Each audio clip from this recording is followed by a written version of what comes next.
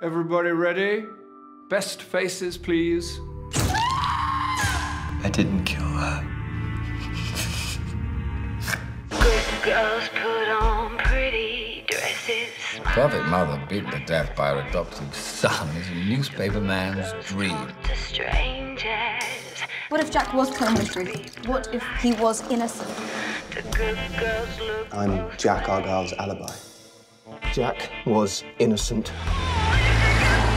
Whole bloody family are suspects. No one hated her more than you.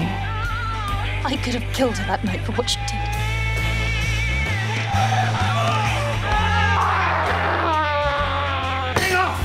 The question is, if Jack didn't kill Mother, then who did? I wanna be bad sometimes.